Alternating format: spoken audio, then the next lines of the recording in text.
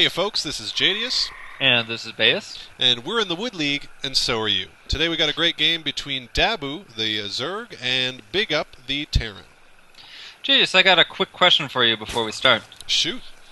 What are you going to do on Tuesday if all telecommunications satellites are lost and destroyed? Well, yeah, I have heard that solar flares might be attacking Earth uh, pretty soon, as soon as uh, as uh, as Tuesday, and uh, I, I I figured um, I would probably go down to the uh, the side of the the street, uh, find myself a refrigerator box, and kind of just kind of just live easy, kind of just live in that refrigerator box. Oh, I thought you were going to talk about the Steven Spielberg nuke defense. That of course, if you're inside a lead-lined refrigerator, you're immune to any nuclear explosion and/or solar flare.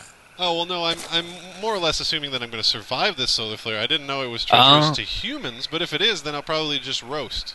Well, it definitely freaks me out, but apparently it's not treacherous to humans. But they just say that to you know. Anyways, here we go. We got a nice game going on here. We might as we might as well cast some StarCraft if all of our telecommunications and electronics are going to be wiped out on Tuesday. So here we go with that doom and gloom. Let's uh, let's check out what's going on here. It's a classic ZVT, which is Bayus and I and and, and, and my uh, favorite matchup. Uh, Yeah, absolutely. I just cannot, as you know, I cannot beat Terran. Well, you know that, Jadious. But uh, let's see if Daboo can do it here without a, a six pool. That's how I beat Terran. If I'm up against a Terran, I go, well, time to six pool. That's what I do every time. So it looks like Daboo is going for a bit of a slower pace game here. See if he can uh, take care of the Terran. It looks like a 13 pool from Daboo.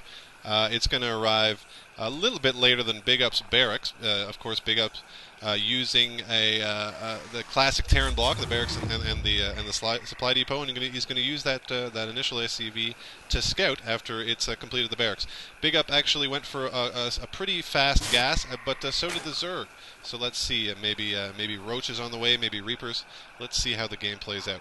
Could be roaches, but I gotta assume he's going for banelings, as that's what you've recommended that I do in facing Terran, Absolutely. despite my constant complaining about not being able to beat them. Baneling's uh, very, very popular in the ZVT matchup uh, right now. Uh, a lot of Terrans have having a lot of trouble handling that those repeated waves of tiny little, tiny little bomblings. And uh, it looks like uh, the Zerg researching the uh, the Speedlings upgrade and Ah, building yeah. a Queen. Let's see what uh, the Terran's got going, got cooking. He's got a Marine, another SCV, and a quick factory pumping out right now. Uh, let's see the worker count for both of them. About tied, giving the slight edge to the Terrans for the Mule. Yeah, the mule will give a slight edge. But uh, no, no significant units as of right now. Of course, I So. Jadious, who are these players? I- I are they say- aliases of other players? Like I've never heard of them before. I was about to say you you pretty much read my mind. Um, this was a good uh, on all on all accounts. By all accounts, this is a good game. But these are two uh, unknown players, as far as I, I I know. I've never heard of Possible them. tournament contenders in the future, you think? Maybe, maybe we'll see from the play. Maybe we're just going to shoot them down. Maybe we're going to say that maybe these two players just give up and play uh, play. Well, Hello- checking their checking their APM, which of course we all know is the only true indicator of skill in StarCraft, they both have over 100 APM average, which is quite good, far better than myself being in the Wood League, and better than you as well. Uh, much, much, much better than me. But that's why we are in the Wood League. And of course, Daboo currently is over 200 APM. I should probably stop staring at the APM screen because it's just going to distract me for the rest of the game. As you, as uh, of course, uh, you, you should know by now. Whatever Bayus says, uh, uh, apply uh, the, your, your your sarcasm goggles to it because, uh, of course, Bayus does not believe that APM is, is the true and, and, and singular test of, of skill, or maybe he does. Bayus, Looks like some Zerglings are showing up at the front door here, and they're going to be shooed away by the Terran wall. gonna go straight to the back door, which uh, which does catch uh, Terrans uh, off guard uh, more often than not, considering that they do uh, block up uh, one primary part of their base and aren't usually looking at the back door. But he's got a, good supply depot here, giving him vision, and the Zerglings are going to Looks like Bigup can see the Zerglings, and he's going to take pot shots at them, forcing them to run away yet again. Oh, now what does Daboo site. have? What is Daboo is going for? Wow, fast tech has an infestation pit. He might go straight to Hive, although he might be going for infestors. We will see. He's a better player than I. I can almost assure you of that. Well, I can definitely assure you of that.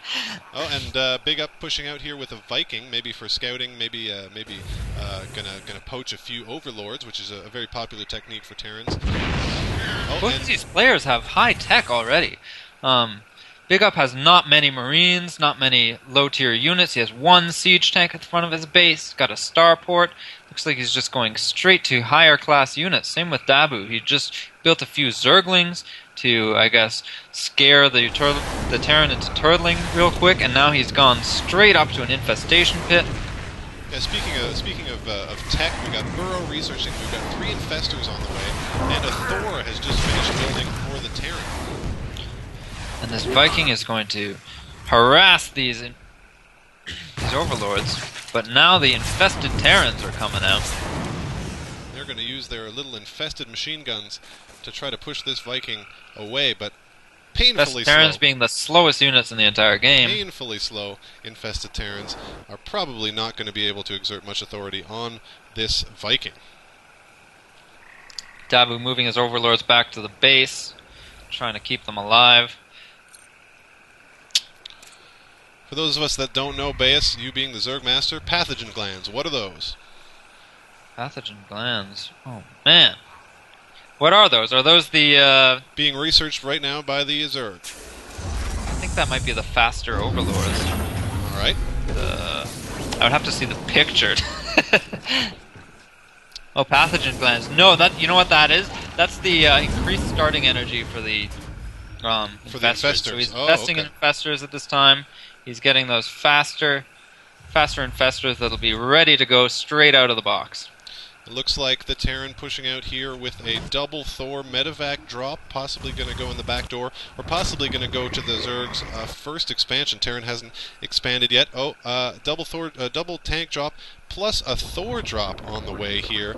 But uh, a lot of Zerglings crawling around, speedlings in fact, for a Daboo, the Zerg, the, the pink Zerg.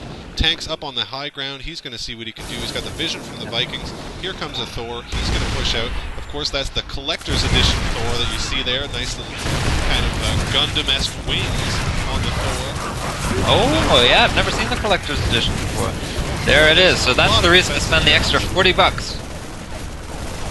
A lot of infested Terrans there.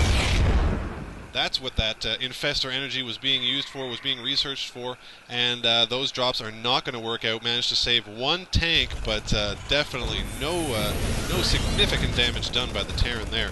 Terran now I'm not sure what Daboo is doing with his infestors here, but it looks to me like he might be able to lob some infested Terrans over the wall of Bigup. Absolutely. I think right now he's just biding his time. He feels he probably doesn't have enough infestors to really do significant, significant damage. Uh, two more on the way. The unit count now is five infestors plus two. That'll make seven infestors versus three tanks, uh, a couple of medevacs. But uh, it's pretty insignificant units when it comes to the infestors. The infestors are definitely holding all the power, all the cards right now, and the Zerg really winning on workers. Terran now preparing his uh, second expansion. He's going to try to catch up but the Zerg's macro definitely, definitely pushing the Terran out. And the infestors Here are come on the the, move. infestors. They're going to walk across the map. Looks like they're not too slow off of creep. And they're just marching across here. This this is going to be very interesting what Daboo does with this. Oh, boys, burrowed infestors. How often do you see that? We're getting a treat here, folks. Burrowed infestors sneaking their way over to the Terran's base. The Terran has no idea what's going on. Infestors actually able to move while bur- burrowed without any additional research required.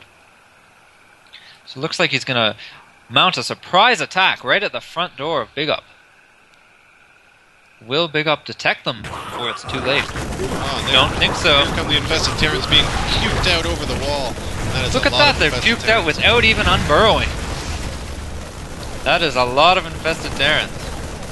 Very, Looks like very tricky play. The infestors now allowed into the base. The Terran still has no idea how many, where they are. These infested Terrans are going to keep them occupied while the infestors sneak their way right into the mineral line.